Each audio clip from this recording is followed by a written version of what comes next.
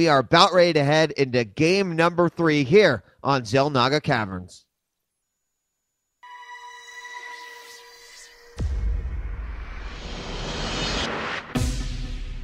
Link engaged.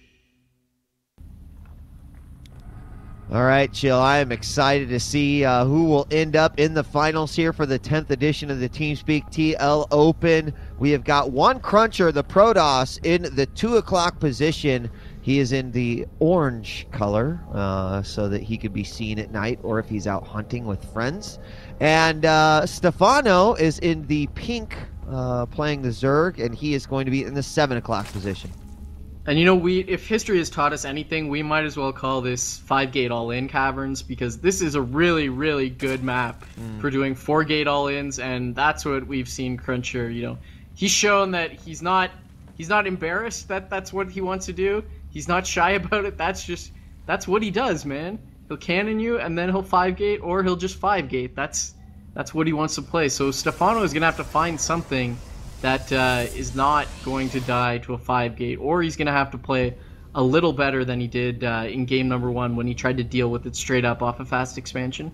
Well, unfortunately, I think that dealing with on on metal is it might be a little bit easier just because there's so right. much more room to cover here on Xel'Naga. So uh, that could be a strike against him. However, it does look like he's going to make his way out. Unfortunately, not even close to 300, but he's used that as a ploy before, and it looks like it'll be the case again as his extractor goes down, and uh, he's just tricking the hell out of that pro. Pro's like, man, I'm delaying his hatch so much, but the pool goes down in the main gateway down for uh, one cruncher. And you know, I will give one cruncher some credit here because he at least I can tell he's a guy that plays Protoss simply because he loves the utility that he is given.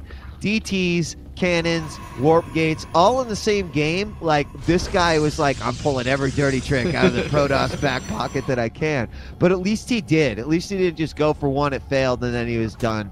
Uh, I like yeah. the fact that he, uh, f- uh, you know, he fought to stay alive.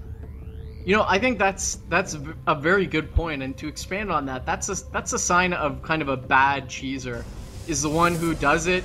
It works, but not all the way, and then he's dead. He has no follow up. He has nothing else, and we definitely did not see that out of Cruncher. It was well thought out. He had transitions out of it, and some on your feet, but some actually looked prepared, and, and that's the sign of someone who's who has experience with their playstyle.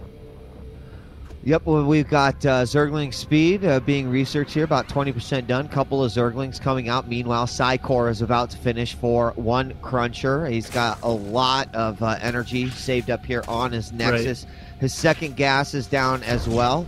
Uh, so we're going to see the Warp Gate research started immediately, and then he'll Chrono Boost out a Stalker and uh, then get his warp gate uh, done as well. Now we've seen some very successful. By the way, the hatchery's gone down for the Zerg, but we've just seen some successful like I, I call them paired unit, uh, just sort of assaults with by the Protoss, where like you have a zealot, you have a, a stalker, and you're able to mm-hmm. do some decent damage if the Zerg is sort of not ready for it. But in this particular situation, looks like he's going to go harass this Overlord, and we do have these Zerglings just outside the base of Cruncher.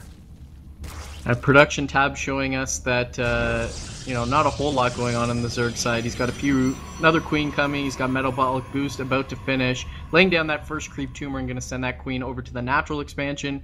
Uh, meanwhile, Cruncher dropping his two gateways and only two thus far. I'm going to be shocked if there's not a third, but uh, the order a little off here yet again. And what I'm really looking for this game, as opposed to the first one, is I hope he spends his gas on the sentries first, lets him build up energy, then brings him across the map, and when he's got a lot of minerals left over, uh, then he can start warping the zealots. Looks like the Zerglings want to sneak in as uh, the Sentry and, and Stalker are out, and actually losing the Overlord. That is pretty big uh, when you're dealing with any sort of oh. warp gate rush.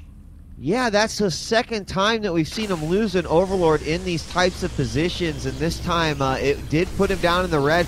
Leaves the Zerglings unattended, and now the force of Cruncher makes his way in. He's got to be careful, though. The Zerglings of speed can get in there real quick. Of course, only a few of them aren't going to do too much damage, but he will retreat back, and look at this. The uh, Wall O Spine Crawler has uh, been built here. As he is going to try to keep the Protoss out of his base. One thing uh, you'll notice here that uh, as we get started, again, the Roach Warren is down. We do have roaches coming out this time, which is a big difference from uh, game number one. Yeah, but Stephano has like no drones. He's at 20 harvesters right now, and three of those are on gas, so really not getting a lot. And look at this, Cruncher actually switching it up. Gonna put down the expansion while he presses forward, and and you know I have a map hack on right now, and I didn't expect that. So I really don't think Stephano is gonna expect that unless uh, he's caught a glimpse of that. Turning on his vision, no, he has no idea of uh, what's coming his way. As uh, the Protoss units moving down, uh, gonna run into this spine crawler wall. Let's see if they get aggressive or if they're gonna turn back. Looks like they're going to turn back and uh, just put pressure and then pull away. Forces Zerg to make units as opposed to drones while you put up your own expansion. That's uh, that's a really smart way to play the game. Yeah, you're. I mean, you're absolutely right. Now we do see him moving his spine crawlers uh, forward here to uh, you know start to push out his forward line of defense. Meanwhile, the uh, Cruncher crew is heading on back and making sure that that. Exp- oh, in comes Mr. Zergling, and he sees everything. He tries to run around the huge wall, and suddenly you see the Zerg forces move out and not going to go in for an attack. He's going to think about maybe getting ready for this third here. And uh, he is droning back up, but as you mentioned, right uh, well, he's caught up quite a bit, 29 to 31. I think once he realized that it wasn't coming, he uh, must have thrown out a, a, bunch more here. But uh, thinking about a third and maybe just a huge surge of units.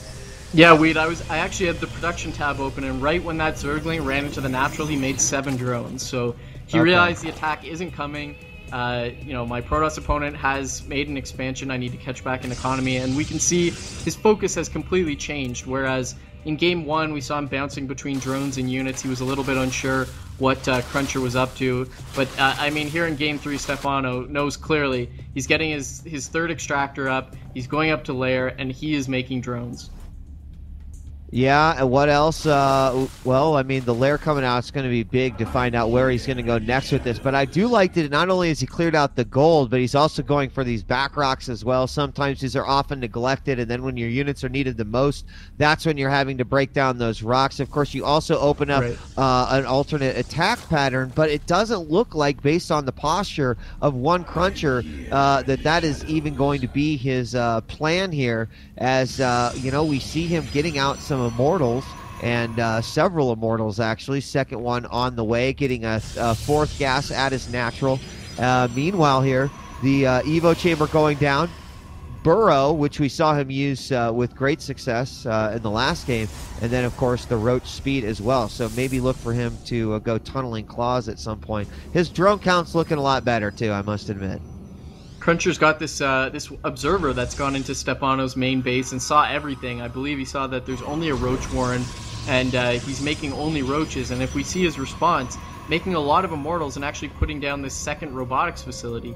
So uh, he, I think he has a plan to just go gateway uh, immortal, uh, unless there's a robotics bay, but I don't see it. And against Roach, this could be really effective. And and Stephano, if he's not careful uh, and and doesn't switch in with some sort of Hydra support or or Mutalisks or something, uh, he might just run into an Immortal wall that he can't break down. Well, I mean, you'd expect uh, Hydras to come out here, but uh, right. either he knows that that observer's there, he doesn't want to give it up, or he's just, I don't know, he's spending so much on units right now. Is he actually going to go forward for an attack? This would be a horrible, horrible idea here but let's see his uh, army a little bit out of position. He is going to push forward. Oh, and that's he. He gave himself up. He's uh, he's going to be found out, and he's going to have to back off here, taking his gold now. He will get back. What does he have? He cannot win with roaches. Trust me, I've tried it. I, I, I've tried it before it can't happen. Uh, but he has double Evo chamber up, getting, of course, uh, missile attack, plus one missile, and uh, plus one carapace. But again, no Hydralisk then. We see no infestation pit, no uh, spire, so nothing off of that lair tech except for the upgrades for the roaches. You know, and he actually he doesn't have the tunneling claws yet, not getting it, but he does have burrow. And the interesting thing there, despite having two uh, robotics, Cruncher actually didn't have an observer there, so that would have been really nice to just burrow in, move into the main base, and uh, kill your your opponent's Nexus. But we might not get to that point because I feel like Stephano's just gonna die here with this Immortal Heavy. There is a lot of Immortals here. Good God, how many? One, two, three, four, five, six Immortals moving in, just raining down on this hatchery. Gonna take it down so quickly, and, and what can the Roaches do but watch? Probably nothing. Zealot's even on hold position. You know, this is so easy. They don't even need to attack. Now this one gonna come in, buffer attack. And here we go, Roach is moving in with speed. Gonna try to get right up with the Immortals ready. Oh my god, so many force. This is like ridiculous amounts of force fields that are not even necessary. And there is an observer there, so despite being burrowed, uh, Cruncher sees exactly what's going on. More force fields. Oh my god. Supplies 140 for the Protoss player, 112 for the uh, Zerg player, as Cruncher just cuts right through the defenses of Stephano, and I don't think he has an out at this point. There is no way. I mean, I'm looking at the army. There is no freaking way that with all of these Immortals and the Sentries that he's going to be able to take this out. Here comes another push. Again, the force fields will oh funnel a lot God. of these roaches to the front, and there it is. The well played. Take it for what it is. I call it a GG. And uh, we are going to see our Protoss player move forward here to face the winner of the second semifinal. That'll either be TLO or Phoenix. And uh, I got to say, that was just played so well by the Protoss.